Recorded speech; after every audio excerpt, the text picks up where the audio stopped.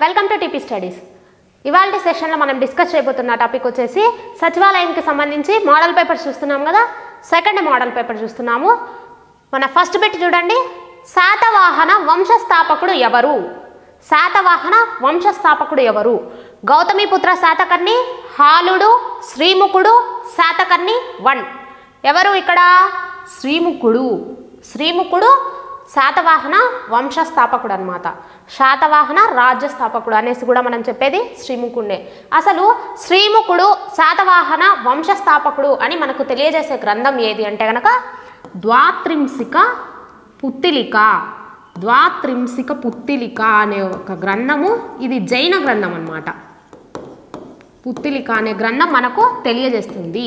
దీన్ని బట్టి మనకేమర్థమవుతుంది అంటే గనక శ్రీముఖుడు జైన మతాన్ని అవలంబించాడు అనేసి తెలుస్తుంది.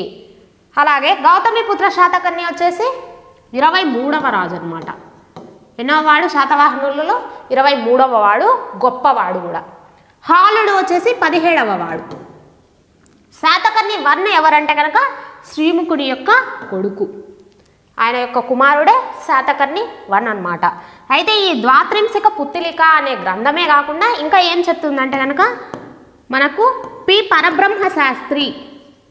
పి పరబ్రహ్మ శాస్త్రి అనే వ్యక్తి చేసిన పరిశోధనల ద్వారా కూడా మనకి శ్రీముఖుడే శాతవాహనుల యొక్క వంశస్థాపకుడు అనేసి తెలుస్తుందన్నమాట. ఈయన కరీంనగర్ జిల్లాలోని కోటిలింగాలు అనే రాజ్యాన్ని స్వతంత్రంగా సంపాదించుకొని రాజ్యాన్ని అనేది స్థాపించుకోవడం జరిగిందనమాట ఇప్పుడు మన క్వశ్చన్కి శ్రీముఖుడు అనేది కరెక్ట్ ఆన్సర్ అవుతుంది. శాతవాహనుల వంశస్థాపకుడు ఎవరంటే కనుక శ్రీముఖుడు. ఏది చెప్తుందంటే ద్వాత్రింశిక పుత్తిలిక అనేది చెప్పడం జరుగుతుంది. అలాగే పివి పరబ్రహ్మ శాస్త్రి యొక్క పరిశోధనలనే కూడా మనకి శ్రీముఖుడే శాతవాహనుల వంశానికి స్థాపకుడు అనేసి చెప్తాయి. నెక్స్ట్ శాతవాహనుల మొట్టమొదటి రాజధాని శ్రీకాకుళం ప్రస్తుతం ఏ జిల్లాలో ఉంది? శాతవాహనులు మొత్తం మూడు రాజధానులుగా పరిపాలించేవాళ్ళు. ఎన్ని రాజధానులు చేసుకొని పరిపాలించారంటే కనుక మూడు రాజధానులు అనేవి వాళ్ళకు ఉన్నాయి అందులో మొదటిది శ్రీకాకుళం. రెండవది వచ్చేసి మొదటిది శ్రీకాకుళం. రెండవది ధాన్య కటకం. ధాన్య కటకం. ఇది ప్రస్తుతానికైతే మనకు పల్నాడు జిల్లాలో ఉండడం జరిగింది ఈ ధాన్య కటకం అనేది.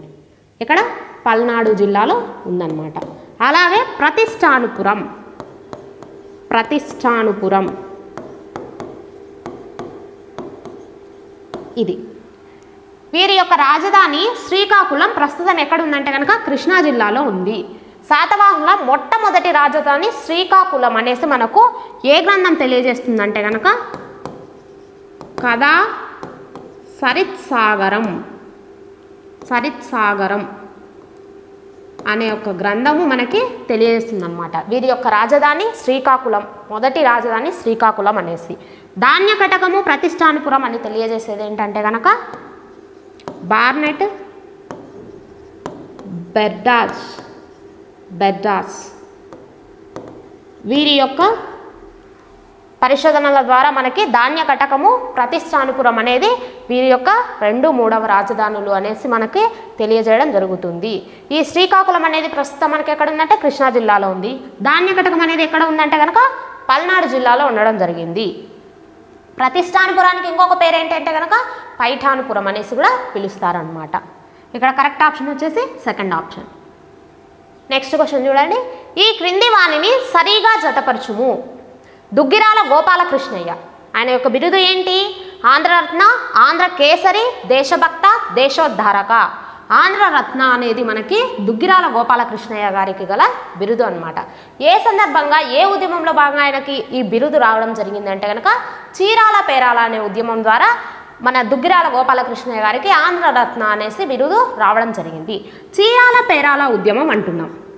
ఈ చీరాల పేరాల ఉద్యమము మనకి ఆంధ్రాలో జరుగుతున్నప్పుడు దేశవ్యాప్తంగా ఏ జాతీయోద్యమం జరుగుతుంది అంటే కనుక సహాయ నిరాకరణోద్యమం.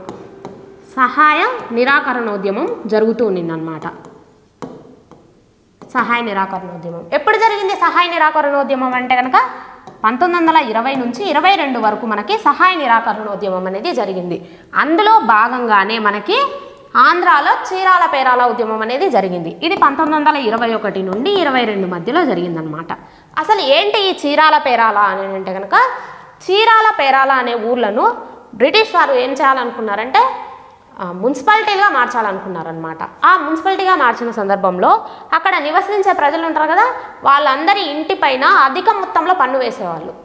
ఎక్కువ పన్ను విధించేవాళ్ళు అనమాట అలా ఎక్కువ పన్ను విధిస్తే ఏమవుతుంది? పేద వర్గాలు ఇలాంటి వాళ్ళంతా మన పన్ను చెల్లించలేరు కదా ఎక్కువ పన్ను వేస్తే.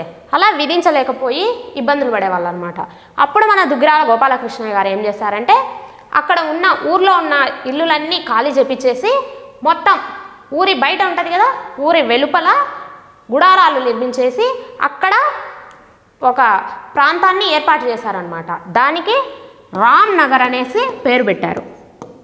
ఏం పేరు పెట్టారు? రామ్ నగర్ అనేసి పేరు పెట్టడం జరిగింది. ఊరి బయట వేసిన టెంట్లలో జనాలను పెట్టేసి అక్కడ గుడారాలు నిర్మించుకొని ఆ కాలనీకి రామ్నగర్ అనేసి పేరు పెట్టారు. ఒక దళాన్ని కూడా ఏర్పాటు చేసుకున్నారు. ఆ దళం పేరు ఏం పేరు అంటే కనుక రామదండు. రామదండు అనే ఒక దళాన్ని కూడా ఏర్పాటు చేసుకొని ఉన్నారనమాట ఈ సందర్భంగా ఈ చీరాల పేరాల ఉద్యమం చేస్తూ ఉంటే కనుక అప్పుడు మనకి గాంధీజీ గారు కూడా వస్తారు. చీరాల పేరాల ఉద్యమంలోకి గాంధీజీ గారు కూడా దక్షిణ భారతదేశానికి రావడం జరుగుతుందన్నమాట. అప్పుడు ఆంధ్రాలోకి వస్తారు. ఆయన ప్రసంగించిన మాటల్ని గాంధీజీ గారు ప్రసంగించిన మాటల్ని తెలుగులోకి అనువాదం చేసింది ఎవరంటే కనుక అయ్యదేవర కాళేశ్వరరావు గారు తెలుగులోకి అనువాదం చేయడం జరిగింది. ఈ సందర్భంగానే అప్పుడు గాంధీజీ గారు వచ్చి ఉంటారు కదా గాంధీజీ గారు మన దుగ్గిరాల గోపాలకృష్ణయ్య గారికి ఈ చీరాల పేరాల ఉద్యమంలో భాగంగానే ఆంధ్రరత్న అనే బిరుదు ఇవ్వడం జరుగుతుందన్నమాట. ఇది ఆంధ్రరత్న బిరుదు దుగ్గిరాల గోపాలకృష్ణయ్య గారికి రావడానికి గల కారణము. ఎప్పుడు జరిగింది ఇది? అంటే కనుక nineteen twenty one twenty two మధ్యలో జరిగిందనమాట నెక్స్ట్ చూడండి. టంగుటూరి ప్రకాశం పంతులు. టంగుటూరి ప్రకాశం పంతులు గారి బిరుదు ఏంటి అంటే కనుక ఇక్కడ ఆంధ్రకేసరి దేశభక్త దేశోద్ధారక. ఏ బిరుదు ఉంది ఈయనకి? ఆంధ్రకేసరి అనే బిరుదు ఉండడం జరిగిందనమాట ఆంధ్రకేసరి. ఎప్పుడు వచ్చింది ఈ ఆంధ్రకేసరి అనే బిరుదు అంటే కనుక సైమన్ కమిషన్ ఉంది కదా మనకి? ఈ సైమన్ కమిషన్ అనేది పంతొమ్మిది వందల ఇరవై ఏడులో వచ్చినప్పటికీ ఇండియాకి రావడానికి పంతొమ్మిది వందల ఇరవై ఎనిమిదిలో వచ్చింది. ఈ పంతొమ్మిది వందల ఇరవై ఎనిమిదిలో సైమన్ కమిషన్ వచ్చినప్పుడు మద్రాస్కి మద్రాస్కి ఎప్పుడు వచ్చిందంటే సైమన్ కమిషన్ పంతొమ్మిది వందల ఇరవై ఎనిమిది ఫిబ్రవరి ఇరవై ఆరున రావడం జరిగింది. ఈ సైమన్ కమిషన్ను వ్యతిరేకిస్తూ మద్రాస్ రైల్వే స్టేషన్లో హర్తాల్ అనేది నిర్వహించారు. ఈ హర్తాల్ నిర్వహించిన సందర్భంలో పోలీస్ వాళ్ళు ఏం చేశారంటే కాల్పులు జరిపారు. ఆ కాల్పుల్లో మనకి పార్థసారథి అనే వ్యక్తి మరణించడం జరిగింది. పార్థసారథి గారు మరణించిన తర్వాత ఆయన యొక్క శవాన్ని కూడా చూసేకి వీలు లేకుండా చేశారనమాట మన టంగుటూరి ప్రకాశం పంతులు గారు ఏం చేశారు ఆ టైంలో? మా సోదరుడి యొక్క పార్థివ దేహాన్ని మేము ఎలాగైనా చూస్తాము అనేసి ముందుకెళ్ళారు. అప్పుడు వాళ్ళు కాలుస్తామని బెదిరించినా కూడా మన టంగుటూరు ప్రకాశం పంతులు గారు బెదరకోకుండా దమ్ము ఉంటే కాల్చండి అనేసి ముందుకు వెళ్ళారు. ఆ సందర్భంగా మనకి ఆంధ్రకేసరి అనే బిరుదు టంగుటూరి ప్రకాశం పంతులు గారికి రావడం జరిగిందనమాట నెక్స్ట్ కొండా వెంకటప్పయ్య. కొండా వెంకటప్పయ్య గారికి దేశభక్త అనే బిరుదు ఉంది. దేశభక్త అనే బిరుదు. దేశభక్త అనే బిరుదు ఈయనకి ఏ సందర్భంలో రావడం జరిగిందంటే కనుక శాసనోల్లంఘన ఉద్యమంలో భాగంగా జ- రావడం జరిగిందనమాట శాసనోల్లంఘన ఉద్యమాలు ఎప్పుడు జరిగాయి అంటే కనుక పంతొమ్మిది వందల ముప్పై నుండి ముప్పై నాలుగు వరకు మనకి శాసనోల్లంఘన ఉద్యమాలు అనేవి జరిగాయి. ఈ శాసనోల్లంఘన ఉద్యమాలకు ఆంధ్రాలో నాయకత్వం వహించింది ఎవరంటే కొండా వెంకటప్పయ్య గారు. ఈ సందర్భంగానే ఆయనకి దేశభక్త అనే బిరుదు రావడం జరిగింది. కాశీనాథుని నాగేశ్వరరావు గారు. ఈయనకి దేశోద్ధారక అనే బిరుదు ఉందన్నమాట. పంతొమ్మిది వందల పద్దెనిమిది ఆంధ్ర మహాసభలకి ఈయన అధ్యక్షత వహించారు. ఓకే ఇది చూడండి. ఇక్కడ అయితే సైమన్ కమిషన్ని ఆంధ్రాలో వ్యతిరేకించిన వ్యక్తి ఎవరంటే కనుక ఎస్. సత్యమూర్తి గారు. ఆంధ్రాలో. ఎస్. సత్యమూర్తి గారు సైమన్ కమిషన్ని వ్యతిరేకించారు. ఒంగోలు గుంటూరు ప్రాంతంలో మనకి ఈ సైమన్ కమిషన్ పర్యటన కోసం అనేది వచ్చింది. అక్కడ వ్యతిరేకించింది ఎవరంటే కనుక ఎస్. సత్యమూర్తి గారు అనేసి గుర్తుపెట్టుకోండి. ఇది. అయితే చూడండి మనకి ఏ ఆప్షన్ అనేది కరెక్ట్గా ఉంది? ఫస్ట్ ఆప్షన్ అనేది ఇక్కడ కరెక్ట్గా ఉందన్నమాట. A one B two C three D four అనే option correct option. Next question. Vijayanagara రాజుల ముఖ్య రేవు పట్టణం ఏది? ముఖ్య రేవు పట్టణం విజయనగర రాజుల్ని పులికాట్ అనమాట మచిలీపట్నం కాదు ఇక్కడ పులికాట్ అనేసి గుర్తుపెట్టుకోండి. పులికాట్. ఈ పులికాట్ సరస్సు ప్రస్తుతం మనకి ఏ జిల్లాలో ఉంది? డిస్ట్రిక్ట్స్ డివైడ్ అయ్యాయి కదా ఏపీ జాగ్రఫీ పాయింట్ ఆఫ్ వ్యూలో చూసుకుందాం. ఏ జిల్లాలో ఉందంటే కనుక తిరుపతిలో ఉండడం జరిగిందనమాట ఎక్కడ? తిరుపతి. ఒకప్పుడు అయితే నెల్లూరు ఉండేది ఇప్పుడు తిరుపతిలో ఉంది. పులికాట్ కొల్లేరు. ఈ సరస్సులు మాత్రమే మనకున్నాయి. కొల్లేరు అయితే కనుక ఎక్కడ ఉంది? ఏలూరు జిల్లాలో ఉండడం జరిగింది. కొల్లేరు. ఇది మంచినీటి సరస్సు కొల్లేరు. పులికాటు ఉప్పునీటి సరస్సు. ఇది ప్రస్తుతం తిరుపతి జిల్లాలో ఉంది. మనం కన్ఫ్యూజ్ అవుతున్నాము. కొల్లేరు ఏ పులికాట అనేసి ఎక్కడ ఉంది? రెండు కన్ఫ్యూజ్ అవుతున్నాం అనుకున్నప్పుడు సింపుల్గా గుర్తుపెట్టుకోండి. టీపీ అనేసి గుర్తుపెట్టుకోండి. ఎలాగో మనం టీపీ ఛానల్ని ఫాలో అవుతుంటాం కదా? టీ అని అంటే కనుక తిరుపతి. పి అంటే కనుక పులికాట్ అనేసి గుర్తుపెట్టుకోండి. సింపుల్గా గుర్తుంటుందన్నమాట. నెక్స్ట్ క్వశ్చన్ ఈ క్రింది వాణిలో కాలానుక్రమంలో అమర్చిన సరైన వరుస ఏది? బాణుడు హరిసేనుడు నాగార్జునుడు కౌటిల్యుడు. కౌటిల్యుడు నాగార్జునుడు హరిసేనుడు బాణుడు నాగార్జునుడు హరిసేనుడు కౌటిల్యుడు బాణుడు హరిసేనుడు కౌటిల్యుడు బాణుడు నాగార్జునుడు. ఏదవుతుంది ఇక్కడ కరెక్ట్ ఆప్షను? సెకండ్ ఆప్షన్ అనేది మనకి కరెక్ట్ అవుతుందన్నమాట. ఇక్కడ కౌటిల్యుడు అర్థశాస్త్ర పితామహుడు. కౌటిల్యుని గల ఇంకొక పేరు ఏంటి అని అంటే కనుక చాణక్య అనేసి అంటాము విష్ణుగుప్త అనేసి కూడా పిలుస్తాము. ఎవరిని? కౌటిల్యుణ్ణి. ఈయన చంద్రగుప్త మౌర్యుని యొక్క ఆస్థానంలో మంత్రిగా ఉన్నారనమాట నెక్స్ట్ నాగార్జునుడు. నాగార్జునుడు మనకి బౌద్ధం బౌద్ధ మత వ్యాప్తిలో బాగా ఫేమస్ అన్నమాట. నాగార్జునుడు. నాగార్జునుని ఇంకా ఏమంటారంటే ఇండియన్ ఐన్స్టీన్ అనేసి పిలుస్తామన్నమాట. నాగార్జునుడు. ఈయన తర్వాత వస్తాడు. హరిసేనుడు. హరిసేనుడు ఎప్పుడు వస్తాడంటే కనుక మనకు సముద్రగుప్తుడు. సముద్రగుప్తుడు ఉంటాడు కదా? సముద్రగుప్తునికి సముద్రగుప్తుని ఏమంటామంటే ఇండియన్ నెపోలియన్ అనేసి పిలుస్తామన్నమాట. ఈ సముద్రగుప్తుని యొక్క ఆస్థానంలో ఉన్నవాడే మనకి హరిసేనుడు. బాణుడు. గుప్తుల అనంతం. గుప్తుల కాలం అయిపోయిన తర్వాత ఉంటుంది కదా గుప్తుల అనంతరం వచ్చిన వాడే మనకి హర్షవర్ధనుడు వస్తాడు గుప్తుల అనంతరం. ఈ హర్షవర్ధను యొక్క ఆస్థానంలో ఉన్నవాడే ఎవరు? బాణుడు. ఓకే? మనకి సెకండ్ ఆప్షన్ అనేది ఇక్కడ కరెక్ట్ ఆప్షన్ అనమాట next. Central potato research institute ఎక్కడ ఉంది? ఎక్కడ ఉందంటే కనుక సిమ్లాలో ఉండడం జరిగింది. ఎక్కడ? సిమ్లా. హిమాచల్ ప్రదేశ్లోని సిమ్లాలో ఉంది. కటక్. కటక్లో ఏమేమి ఉంది మనకు? కటక్లో కేంద్ర వరి పరిశోధనా కేంద్రం. జాతీయ కేంద్ర వరి పరిశోధనా కేంద్రం అనేది ఉండడం జరిగిందనమాట వరి పరిశోధనా కేంద్రం. అదే అంతర్జాతీయ వరి పరిశోధనా కేంద్రం అయితే ఎక్కడ ఉంది? ఫిలిప్పీన్స్ మనీలాలో ఉండడం జరిగింది. ముసోరీలో వచ్చేసి మనకి లాల్ బహదూర్ శాస్త్రి ఐఏఎస్ అకాడమీ అనేది ఉంది. బెంగళూరులో ఏముంది అని అంటే కనుక Indian institute for horticulture research centre అనేది బెంగళూరులో ఉందన్నమాట. Indian institute for horticulture. Horticulture research centre అనేది మనకి బెంగళూరులో ఉందన్నమాట. నెక్స్ట్ కింది వాటిని జతపరచుము. ప్రాథమిక విధులు. ప్రాథమిక విధులు ఏ దేశం నుంచి మనము తీసుకున్నాము? అంటే కనుక రష్యా ఐర్లాండ్ అమెరికా ఆస్ట్రేలియా. ఎక్కడ నుంచి తీసుకున్నాము ఈ ప్రాథమిక విధులు అని అంటే కనుక రష్యా నుంచి మనము తీసుకోవడం జరిగింది. వివిధ దేశాల నుంచి కొన్ని కొన్ని అంశాలు అనేది తీసుకున్నాం కదా. రాజ్యాంగాన్ని రూపొందించుకున్నప్పుడు మనము అలాగా ప్రాథమిక విధులు అనే అంశాన్ని ఏ రాజ్యాంగం నుంచి తీసుకున్నామంటే రష్యా నుండి రష్యా యొక్క రాజ్యాంగం నుండి తీసుకోవడం జరిగిందనమాట ఈ ప్రాథమిక విధులతో పాటు ఇంకా ఏమేమి తీసుకున్నాము రష్యా నుంచి అంటే కనుక ఆర్థిక సామాజిక రాజకీయ న్యాయాలు అనేటివి కూడా మనం రష్యా నుంచే తీసుకోవడం జరిగింది. ఆదేశిక సూత్రాలు. ఈ ఆదేశిక సూత్రాలు అనేవి ఐర్లాండ్ నుండి తీసుకోవడం జరిగింది. ఆదేశిక సూత్రాలు. ఈ ఆదేశిక సూత్రాలతో పాటు ఐర్లాండ్ నుండి మనం ఇంకా ఏం తీసుకున్నామంటే రాష్ట్రపతి ఎన్నిక. రాష్ట్రపతి ఎన్నిక అనేది కూడా మనం ఇక్కడ నుండే తీసుకోవడం జరిగింది. రాష్ట్రపతి పన్నెండు మందిని నామినేట్ చేస్తారు కదా రాజ్యసభకు అది కూడా మనము ఐర్లాండ్ నుంచే తీసుకున్నాం అన్నమాట ప్రాథమిక హక్కులు ప్రాథమిక హక్కులు ఎక్కడి నుంచి తీసుకున్నామంటే అమెరికా నుంచి తీసుకోవడం జరిగింది. అమెరికాతో ప్రాథమిక హక్కులతో పాటు ఇంకా ఏం తీసుకున్నాము? రాజ్యాంగ ప్రవేశిక అనేది కూడా తీసుకున్నాము. రాజ్యాంగ సవరణలో రాష్ట్రాల పాత్ర అనేది తీసుకున్నాము. రాజ్యాంగం యొక్క ఆధిక్యతను కూడా అమెరికా నుంచే తీసుకున్నాము. ఉపరాష్ట్రపతి అనే పదవిని కూడా మనము అమెరికా నుండే తీసుకోవడం జరిగింది. ఉమ్మడి జాబితా. ఉమ్మడి జాబితాను ఎక్కడి నుంచి తీసుకున్నామంటే ఆస్ట్రేలియా నుండి తీసుకోవడం జరిగింది. ఆస్ట్రేలియా నుండి ఉమ్మడి జాబితాతో పాటు ఇంకా ఏం తీసుకున్నామంటే ఉమ్మడి సభ నిర్వహణ అనే దాన్ని కూడా తీసుకున్నాము. అసలు ఏంటి ఉమ్మడి సభ నిర్వహణ అని అంటే కనుక ఇప్పుడు ఏదైనా ఒక బిల్లు విషయంలో రాజ్యసభకి లోక్సభకి మధ్య వివాదం వచ్చిందనుకోండి ఆ వివాదం యొక్క పరిష్కారం కోసము ఉమ్మడి సభ నిర్వహణ అనేది మనకి ఉభయ సభ నిర్వహణ అనేది నిర్వహిస్తారనమాట ఆ ఉభయ సభ నిర్వహణ అనేది మనకి ఆర్టికల్ వన్ నాట్ ఎయిట్ చెప్తుంది. ఆ సభని నిర్వహించేది ఎవరు అని అంటే రాష్ట్రపతి నిర్వహిస్తారు. కానీ దానికి అధ్యక్షత వహించేది ఎవరంటే కనుక స్పీకర్ అధ్యక్షత వహిస్తారు. ఇది మనం ఎక్కడి నుంచి తీసుకున్నామంటే ఆస్ట్రేలియా నుండి తీసుకున్నాము.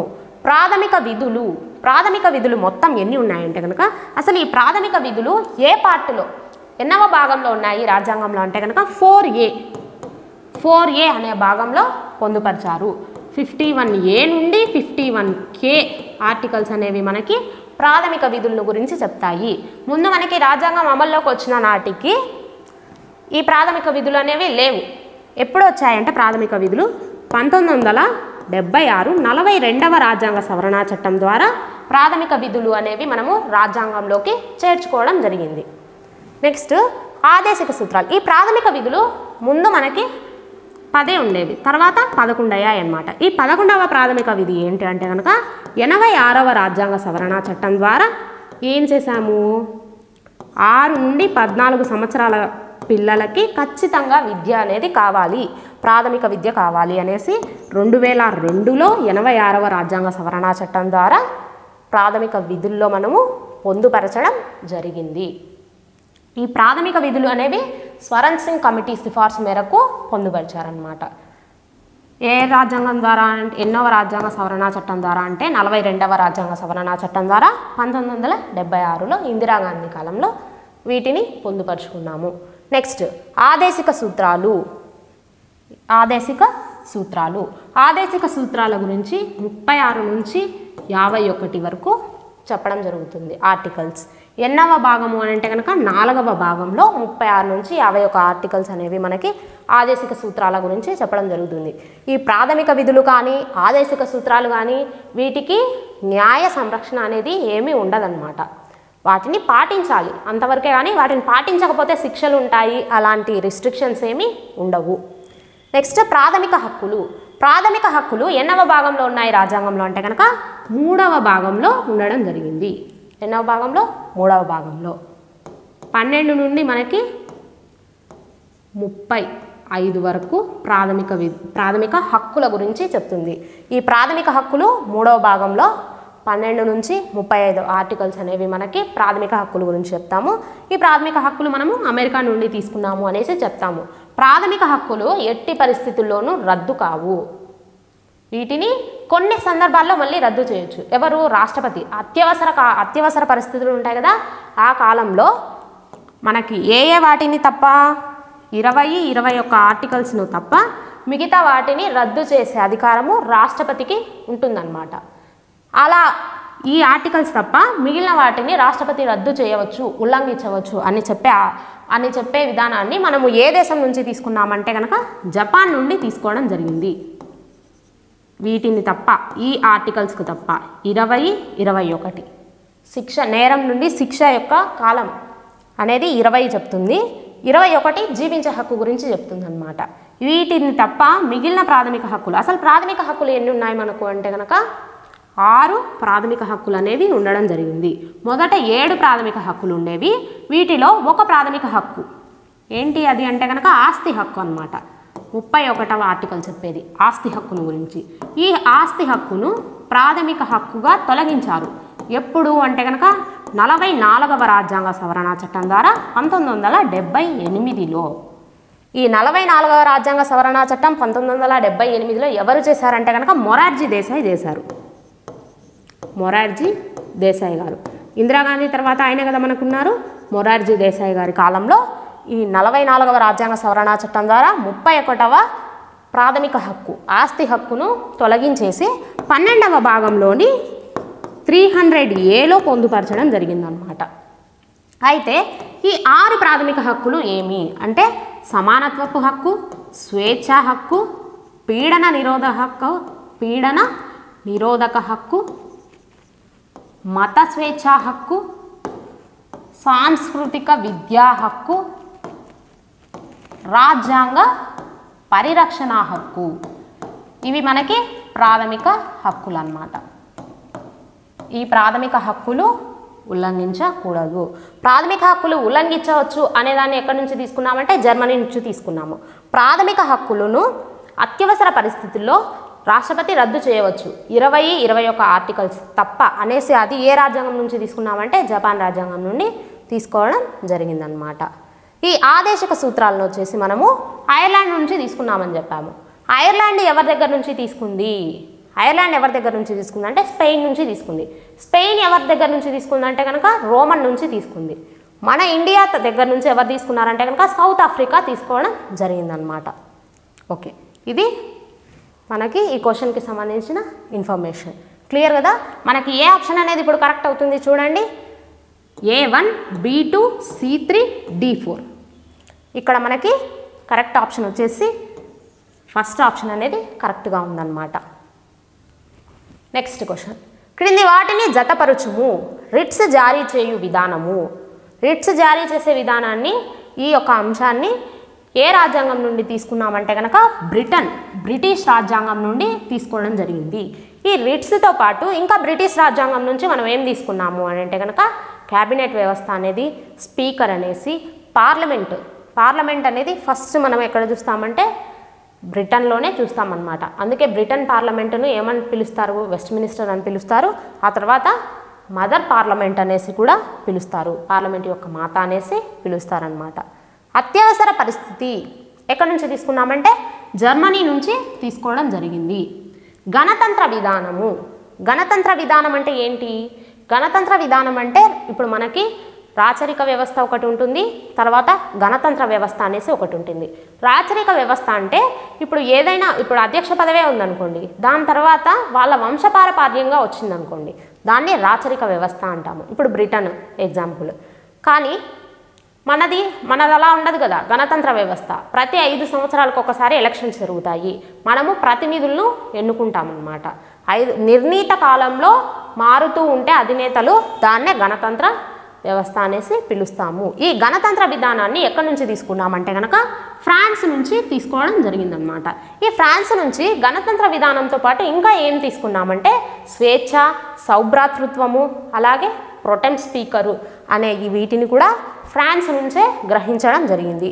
రాష్ట్రపతి ఎన్నిక రాష్ట్రపతి ఎన్నిక ఎక్కడి నుంచి తీసుకున్నాము? ఐర్లాండ్ నుండి తీసుకున్నామని చెప్పుకున్నాం కదా? ఐర్లాండ్ నుండి ఆదేశిక సూత్రాలతో పాటు ఈ రాష్ట్రపతి ఎన్నిక రాష్ట్రపతి పన్నెండు మందిని నామినేట్ చేసే విధానాన్ని కూడా ఐర్లాండ్ నుండే తీసుకోవడం జరిగింది. ఇక్కడ చూడండి అత్యవసర పరిస్థితి. అత్యవసర పరిస్థితి. ఇవి మనకి ఏమేమి ఉన్నాయి? Article three fifty two article three fifty six article three sixty అనేవి మనకి అత్యవసర పరిస్థితులను గురించి తెలియజేస్తాయన్నమాట. ఇది వచ్చేసి ఆర్టికల్ త్రీ ఫిఫ్టీ టూ ఏం చెప్తుంది? నేషనల్ ఎమర్జెన్సీని గురించి చెప్తుంది. ఆర్టికల్ త్రీ ఫిఫ్టీ సిక్స్ అనేది ఏం చెప్తుంది? రాష్ట్రపతి పాలన గురించి చెప్తుంది. ఆర్టికల్ త్రీ సిక్స్టీ అనేది దేని గురించి తెలియజేస్తుంది అంటే కనుక ఆర్థిక ఆర్థిక అత్యవసర పరిస్థితిని గురించి తెలియజేయడం జరుగుతుంది. ఆర్థిక అత్యవసర పరిస్థితి. ఇది మనకి త్రీ సిక్స్టీ ఆర్టికల్ అనే చెప్తుంది. ఈ మూడు కూడా మనకి రాష్ట్రపతికి యొక్క అసాధారణ అధికారాలలో పేర్కొనడం జరిగిందనమాట గణతంత్ర విధానం అనేది ఫ్రాన్స్ నుంచి తీసుకున్నాము. గణతంత్ర విధానం అంటే ఏంటో చూసాము. అత్యవసర పరిస్థితి కూడా చూసాము. రిట్స్ జారీ చేయు విధానము. ఈ రిట్స్ అంటే ఏంటి అసలు ఫస్ట్? రిట్స్ రిట్స్ అంటున్నాం. ఈ రిట్స్ అసలు ఏంటి అంటే కనుక రిట్స్ అనేవి మనకి ఐదు ఉంటాయన్నమాట. ఐదు రకాల రిట్స్ ఉన్నాయి. Habeas corpus. మొదటిది ఏంటంటే కనుక హెబియస్ కార్పస్ అనేసి ఉండడం జరిగింది. Corpus. Mandamus. Mandamus. Prohibition. Prohibition. Certiorari.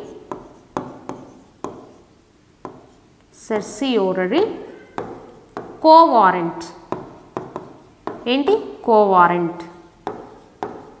ఇవి మనకు రిట్స్.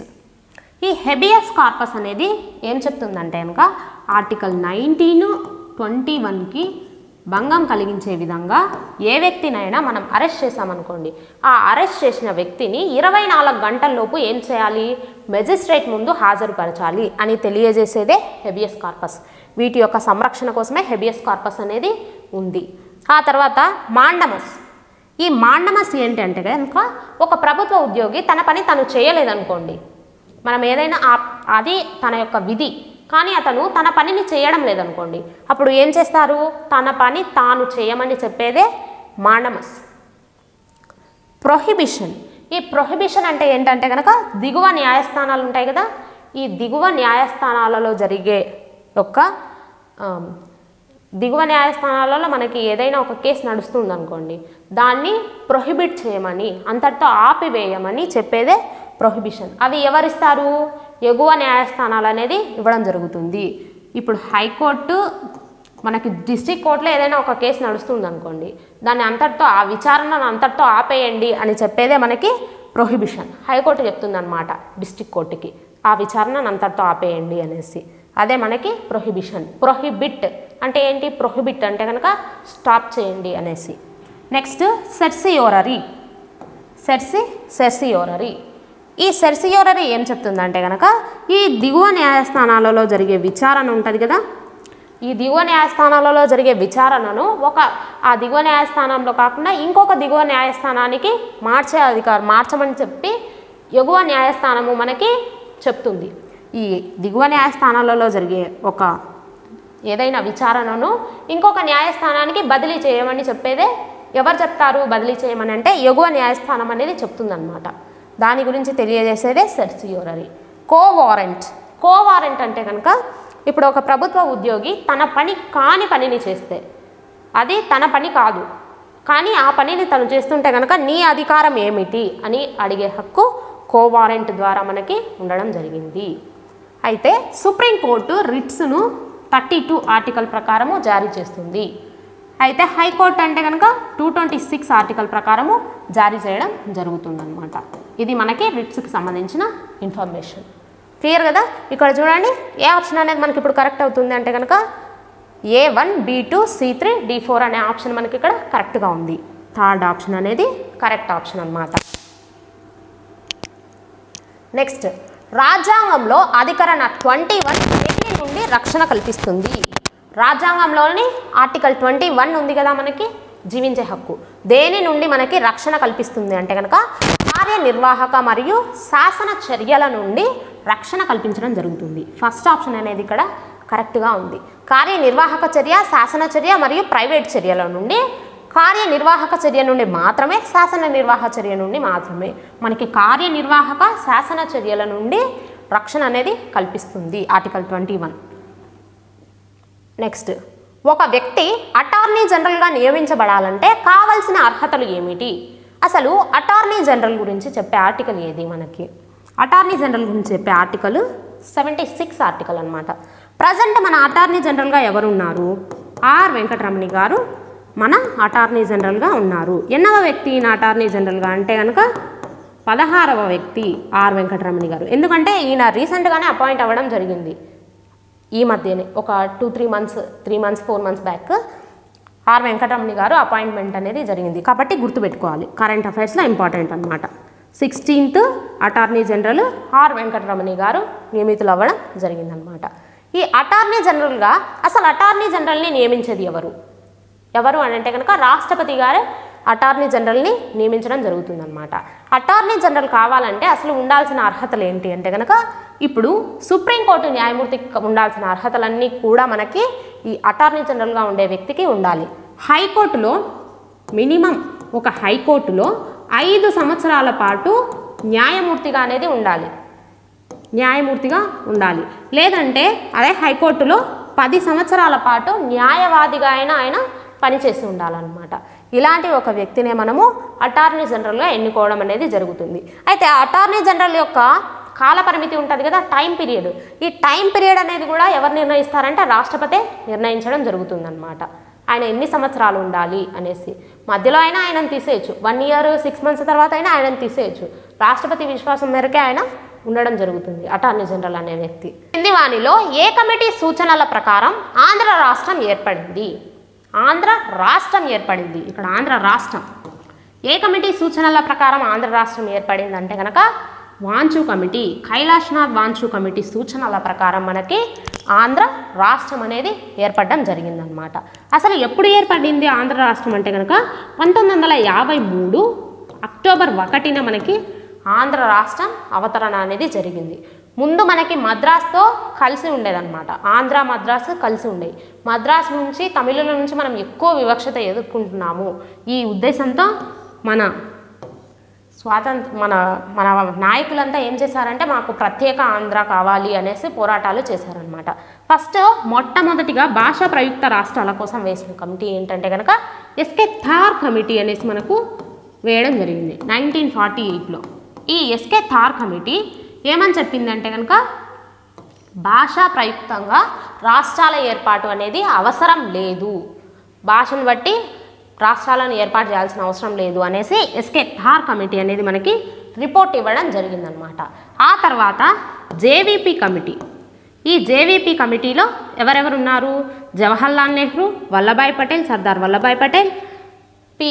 పట్టాభి సీతారామయ్య గారు ఉండడం జరిగిందనమాట పట్టాభి సీతారామయ్య గారు నైన్టీన్ ఫార్టీ ఎయిట్లో ఐఎన్సీ మీటింగ్కి అధ్యక్షత వహించారు.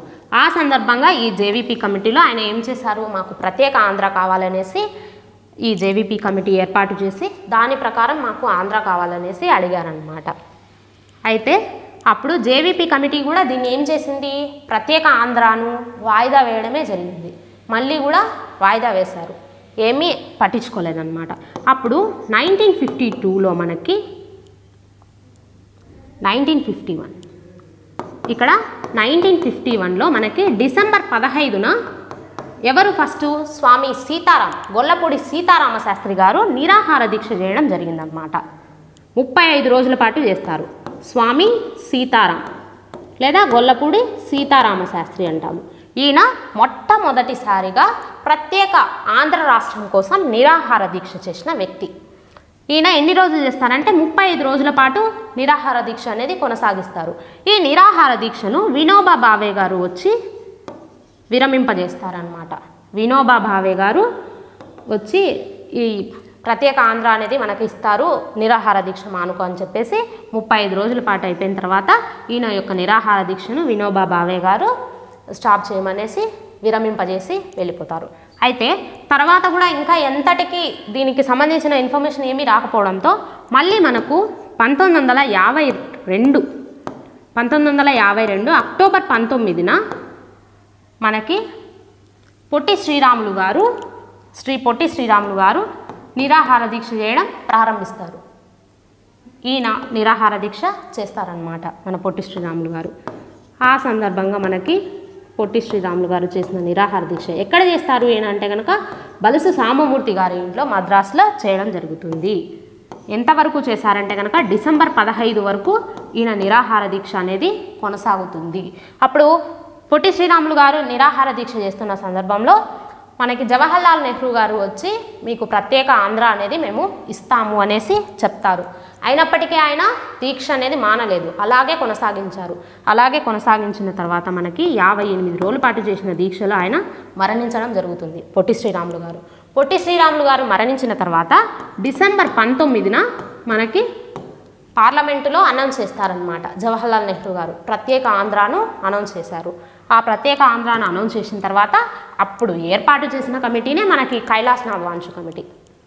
మద్రాస్కు ఇప్పుడు మనకు బైఫర్కేషన్ జరిగింది కదా ఎవరికి తెలంగాణకు మనకు జరిగిన తర్వాత బైఫర్కేషన్ ఎలా వచ్చిందో అలాగే వాటి యొక్క ఒప్పందాలు అప్పులు ఆస్తుల పంపిణీ వీటి కోసం అనేసి మద్రాస్కు ఆంధ్రాకు మధ్య అప్పులు ఆస్తులు ఒప్పందాలు వీటికి సంబంధించి ఏర్పాటు చేసిన కమిటీని కైలాసనాథ్ వాంచు కమిటీ అనమాట ఈ కమిటీ సూచనల ప్రకారమే మనకి ఆంధ్ర రాష్ట్రం అనేది ఏర్పడడం జరిగింది. ఓకే ఇక్కడికి ఇది క్లియర్ కదా? వాంచు కమిటీ ఏర్పడింది అనేసి చూసుకున్నాము. తర్వాత ఫజల్ అలీ కమిటీ. ఇది ఎప్పుడు ఏర్పడింది అంటే కనుక మనకి ఆంధ్ర రాష్ట్రం ఏర్పడింది. తర్వాత మనకు కొన్ని ప్రిన్స్లీ స్టేట్స్ అనేవి ఉండినాయి. మనకి స్వాతంత్రం తర్వాత కూడా కొన్ని ప్రిన్స్లీ స్టేట్స్ అలాగే ఉన్నాయన్నమాట. మైసూరు హైదరాబాదు జమ్మూ కాశ్మీరు ఇవన్నీ మనలోకి విలీనం కాలేదు. బరోడా ఇవంతా కూడా విలీనం కాకుండా అలాగే ఉన్నాయి. అప్పుడు ఏం చేశారంటే ఈ హైదరాబాద్ కూడా అందులో ఒకటి. హైదరాబాదు ఒకటిగా ఉందన్నమాట ఈ ఫజల్ అలీ కమిటీ వచ్చేసి మనకి ఏం చేస్తుంది? ఈ హైదరాబాద్ను ఆంధ్రాలో విలీనం చేసేయాలి అనేసి ఒక నివేదికను అనేది ఇవ్వడం జరుగుతుంది. ఏంటి? ఈ ఫజల్ అలీ కమిటీ ఆంధ్రాను కూడా హైదరాబాద్ను కూడా ఆంధ్రాలో విలీనం చేసేసి ఒక రాష్ట్రంగా ఏర్పాటు చేయాలి అనేసి నివేదిక ఇచ్చిందే ఫజల్ అలీ కమిటీ అనమాట దీని తర్వాత మనకి పెద్ద మనుషుల ఒప్పందం అనేది జరుగుతుంది. ఎప్పుడు జరుగుతుంది? పెద్ద మనుషుల ఒప్పందం? పంతొమ్మిది వందల యాభై ఆరు ఫిబ్రవరి ఇరవైన జరుగుతుందన్నమాట. ఈ పెద్ద మనుషుల ఒప్పందం కుదిరిన తర్వాత మనకి పంతొమ్మిది వందల యాభై ఆరు నవంబర్ ఒకటిన ఆంధ్రప్రదేశ్ అనేది ఏర్పడడం జరిగింది. ఈ ఆంధ్రప్రదేశ్ ఏర్పడిన తర్వాత మొట్టమొదటి సీఎంగా ఎవరు ఉన్నారంటే నీలం సంజీవరెడ్డి గారు ఉన్నారు. అదే ఆంధ్రాకైతే కనుక మొట్టమొదటి సీఎం ఎవరంటే టంగుటూరి ప్రకాశం పంతులు గారు ఉన్నారని చెప్పాలి. ఇప్పుడు ఆంధ్ర రాష్ట్రం ఏర్పడిన తర్వాత మొట్టమొదటి సీఎం ఎవరు అంటే కనుక నీలం సంజీవరెడ్డి గారు ఉండడం జరిగింది. అలాగే గవర్నర్గా ఎవరున్నారంటే కనుక చందులాల్ మాధవ్ త్రివేది. చందులాల్ మాధవ్ త్రివేది గారు గవర్నర్గా ఉన్నారు. ఓకే ఇది మనకి ఆంధ్రాకు ఆంధ్రప్రదేశ్కు సంబంధించిన బ్రీఫ్ ఇన్ఫర్మేషన్. నెక్స్ట్ క్వశ్చన్ చూడండి. నిబంధనలు. ఆర్టికల్స్ ఇచ్చారు. అవి చెప్పే ఒక అంశాన్ని ఇచ్చారనమాట చూడండి ఆర్టికల్ ఫోర్టీన్ అనేది మనకి ఏం చెప్తుంది? ఆర్టికల్ ఫోర్టీన్ అనేది చట్టం దృష్టిలో అందరూ సమానమే సమానత్వపు హక్కు ప్రాథమిక హక్కుల్లో ఇది తెలియజేస్తుంది అనమాట ఫోర్టీన్ నుంచి ఎయిటీన్ వరకు మనకి ప్రాథమిక హక్కులలో సమానత్వపు హక్కుల గురించి తెలియజేస్తాయి. చట్టం ముందు అందరూ సమానమే అని తెలియజేసేది ఆర్టికల్ ఫోర్టీన్ ఆర్టికల్ సిక్స్టీన్ ఏం తెలియజేస్తుంది? ప్రభుత్వ ఉద్యోగాల్లో అందరికీ సమాన అవకాశాలు అనేవి కల్పించాలి అనేసి చెప్పే ఆర్టికల్ ఏదంటే ఆర్టికల్ సిక్స్టీన్ అనేది చెప్తుందన్నమాట. Article twenty one A. Article twenty one A అనేది మనకి ఏం చెప్తుంది? ఇక్కడ చూడండి ఆర్టికల్ ట్వంటీ వన్ ఏ అనేది విద్యా హక్కు గురించి చెప్పడం జరుగుతుంది. ఆర్టికల్ ట్వంటీ త్రీ అనేది వెట్టి చాకరీ గురించి చెప్తుందనమాట అయితే చూడండి మనకి ఏ ఆప్షన్ అనేది కరెక్ట్గా ఉందో? ఏ ఫోర్ ఉండాలి. ఏ ఫోర్ రెండు చోట్ల ఉంది. బీ త్రీ బీ త్రీ ఇక్కడ ఉంది. సి టూ ఇది డి వన్. థర్డ్ ఆప్షన్ అనేది మనకి ఇక్కడ కరెక్ట్ ఆప్షన్ అనేది అవుతుందన్నమాట. నెక్స్ట్ క్వశ్చన్ పులికాట్ సరస్సు ఏ జిల్లాలో ఉంది? పులికాట్ సరస్సు. టీపీ అనేసి గుర్తుపెట్టుకున్నాం కదా ఇందాక? టీ అంటే కనుక తిరుపతి. పి అంటే కనుక పులికాట్ సరస్సు. ఇది ఉప్పునీటి సరస్సా మంచినీటి సరస్సా ఉప్పునీటి సరస్సు ఏ జిల్లాలో ఉంది? తిరుపతి జిల్లాలో ఉంది. ముందైతే నెల్లూరులో ఉండేది. కానీ ఇప్పుడు డి డిస్ట్రిక్ట్స్ అన్నీ మనకు డివైడ్ అయిన తర్వాత తిరుపతిలో ఉండడం జరిగింది.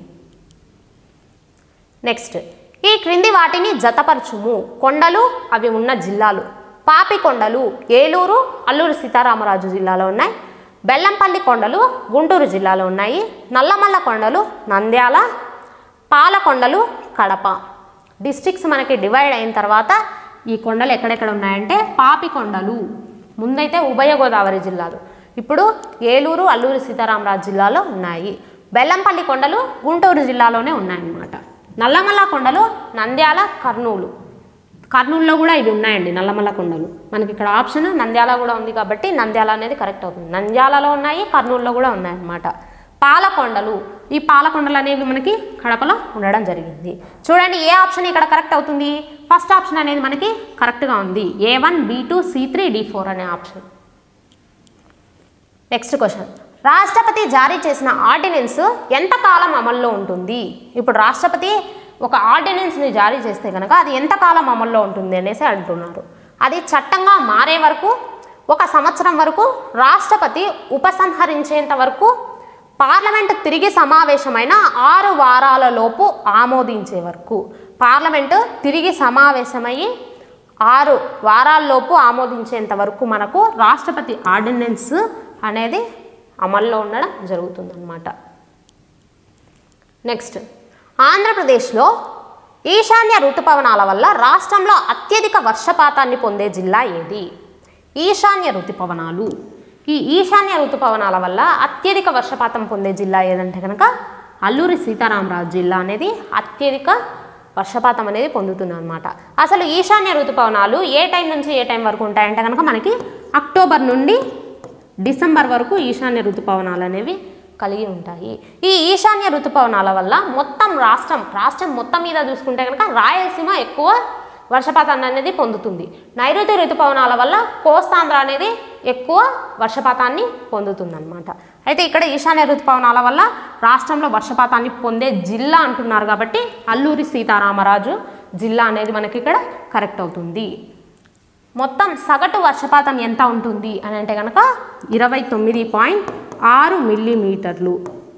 రాష్ట్రంలోని సగటు వర్షపాతము నమోదైందనమాట ఇది. ఇరవై తొమ్మిది పాయింట్ ఆరు మిల్లీమీటర్లు. నెక్స్ట్ ఆంధ్రప్రదేశ్లో అత్యధిక ఉష్ణోగ్రత నమోదయ్యే నెల ఏది? ఏ నెలలో మనకి అత్యధిక ఉష్ణోగ్రతలు అనేవి నమోదవుతాయి? మే నెలలో నమోదవుతాయి. ఏ ప్రాంతంలో ఆంధ్రప్రదేశ్లో ఎక్కడ అత్యధిక ఉష్- ఉష్ణోగ్రతలు అనేవి నమోదవుతాయి అని అంటే కనుక రెంట చింతలలో నమోదవుతాయి. ఈ రెంట చింతల అనే ప్రాంతంలో ఎక్కువ ఉష్ణోగ్రతలు అనేవి వేసవి కాలంలో మనకి నమోదు అవ్వడం జరుగుతుందన్నమాట. నలభై ఆరు డిగ్రీల వరకు కూడా పోతుంది. ఆ తర్వాత కడప ఇలాంటివన్నీ కూడా అత్యధిక ఉష్ణోగ్రతలు అనేవి నమోదవుతాయి. అత్యల్ప ఉష్ణోగ్రతలు నమోదయ్యేది ఏ ప్రాంతము? లంబసింగి. లంబసింగిలో అతి తక్కువ ఉష్ణోగ్రత అనేది నమోదవ్వడం జరుగుతుందన్నమాట. నెక్స్ట్ విజయనగర సామ్రాజ్యాన్ని పరిపాలించిన వంశాల వరుస క్రమము. తులవ అరవీటు సాలువ సంగమ. సాలువ అరవీడు తులవ సంగమ. సంగమ సాలువ తులవ అరవీడు. సంగమ తులవ సాలువ అరవీడు. ఏది ఇక్కడ కరెక్ట్ చూడండి? సంగమ సు- సాలువ తులవ అరవీడు వంశస్థులు మనకి వరుస క్రమంలో పాలించడం జరిగిందనమాట విజయనగర సామ్రాజ్యాన్ని. థర్డ్ ఆప్షన్ అనేది ఇక్కడ కరెక్ట్ అవుతుంది.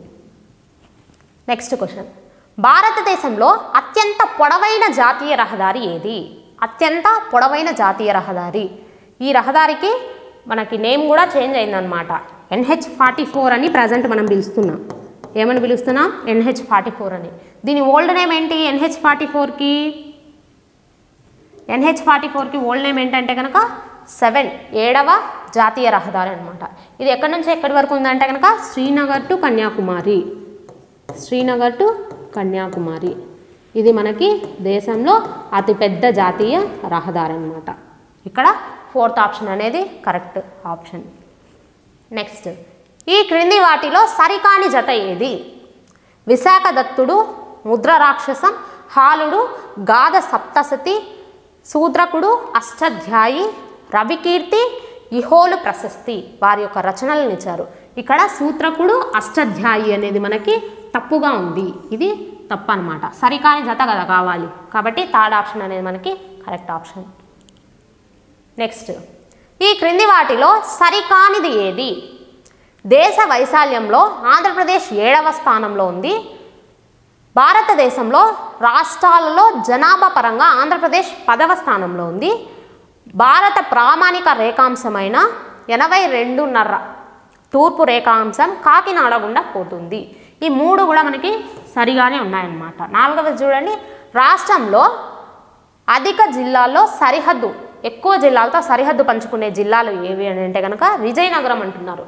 విజయనగరం కాదు ఇక్కడ. విజయనగరం కాదు. వైఎస్ఆర్ జిల్లా మనకి ఆరు జిల్లాలతో ఎక్కువ జిల్లాలతో సరిహద్దు పంచుకునేది వైఎస్ఆర్ జిల్లా ఉంది. తర్వాత తూర్పుగోదావరి జిల్లా వచ్చేసి ఐదు. ఐదు జిల్లాలతో సరిహద్దు అనేది పంచుకోవడం జరుగుతుందన్నమాట. కాబట్టి ఇక్కడ మనకి ఏది సరికాని జత అని అంటే ఫోర్త్ ఆప్షన్ అనేది సరిగా లేదు. అక్కడ విజయనగరం అని చెప్పారు. కానీ ఎక్కువ దేంతో పంచుకుంటుంది? ఎక్కువ జిల్లాలతో సరిహద్దు పంచుకునే జిల్లా ఏదంటే కనుక వైఎస్ఆర్ ఆరు జిల్లాలతో. తూర్పుగోదావరి అయితే కనుక ఐదు జిల్లాలతో సరిహద్దు పంచుకుంటుంది అనమాట నెక్స్ట్ క్వశ్చన్. నూతన జిల్లా ఆధారంగా ఆంధ్రప్రదేశ్ విస్తీర్ణ పరంగా అతిపెద్ద జిల్లా ఏది? అతిపెద్ద జిల్లా ఏది? విస్తీర్ణ పరంగా ప్రకాశం జిల్లా. మండలాలు ఎక్కువ కలిగిన జిల్లా కూడా ఏది అంటే కనుక ప్రకాశం జిల్లానే. ముప్పై ఎనిమిది మండలాలు ఉన్నాయి. దీంతో సమానంగా మండలాలను పంచుకునే జిల్లా ఏదంటే కనుక నెల్లూరు జిల్లా. ఈ నెల్లూరు జిల్లాలో కూడా మనకి ఎన్ని మండలాలు కలిగి ఉన్నాయంటే కనుక ముప్పై ఎనిమిది మండలాలు అనేది కలిగి ఉన్నాయి. అయితే ఇప్పుడు చూడండి విస్తీర్ణ పరంగా ఏది ఎక్కువ ఉంది అని అంటే కనుక ప్రకాశం జిల్లా మొదటి స్థానంలో ఉందన్నమాట. తరువాత స్థానంలో మనకి ఏది ఉంది? అల్లూరి సీతారామరాజు జిల్లా సెకండ్. తర్వాత వైఎస్ఆర్ జిల్లా థర్డ్ ప్లేస్లో ఉంది. చూడండి ఎంత ఉంది అని అంటే కనుక ఇది పద్నాలుగు వేల మూడు వందల ఇరవై రెండు చదరపు కిలోమీటర్లు అనేది ప్రకాశం జిల్లా యొక్క విస్తీర్ణము. అల్లూరి సీతారామరాజు జిల్లా యొక్క విస్తీర్ణం ఎంత అంటే కనుక పన్నెండు వేల రెండు వందల యాభై ఒక్క చదరపు కిలోమీటర్లు. వైఎస్ఆర్ జిల్లాకి ఎంత అంటే కనుక పదకొండు వేల రెండు వందల ఇరవై ఎనిమిది చదరపు కిలోమీటర్లు.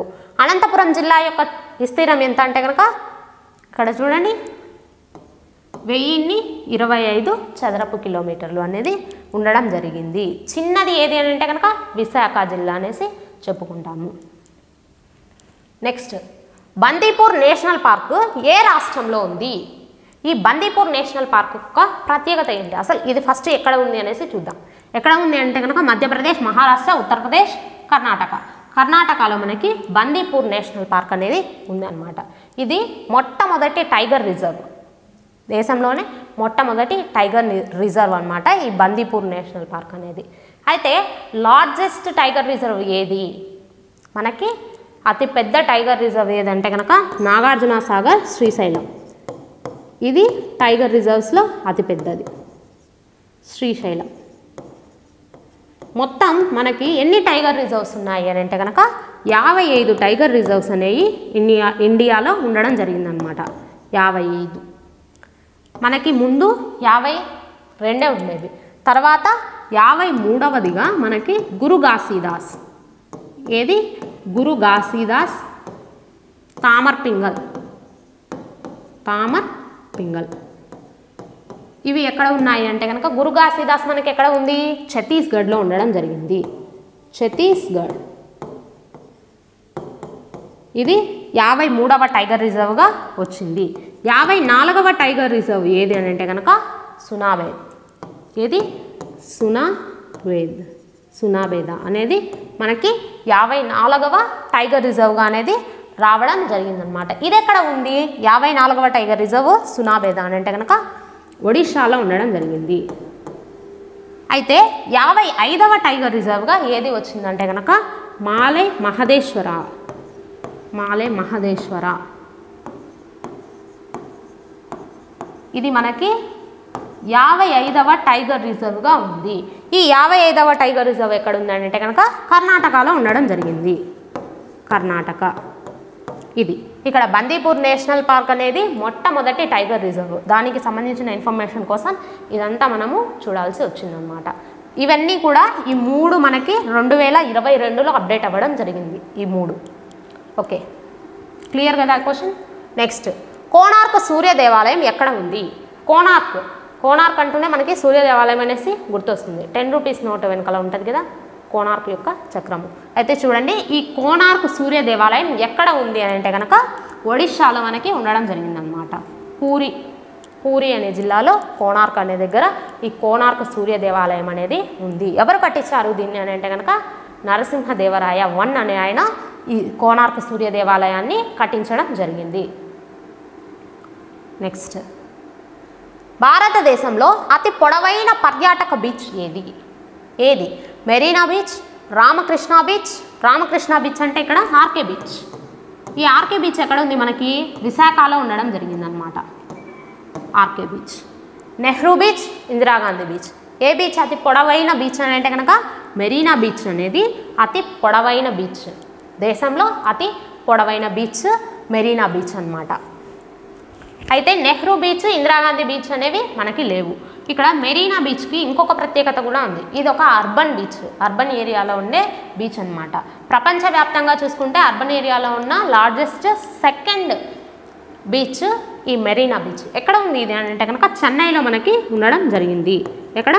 చెన్నైలో ఈ మెరీనా బీచ్ అనేది తమిళనాడులో ఉందన్నమాట. ప్రస్తుతానికి మన దేశంలో అతి పొడవైన బీచ్ ఏదంటే కనుక మెరీనా బీచ్ అనేది మనకి ఉండడం జరిగింది. ఇక్కడ ఫస్ట్ ఆప్షన్ అనేది కరెక్ట్. ఓకే? ఇది వాళ్ళకి సంబంధించిన class. Thank you thank you for watching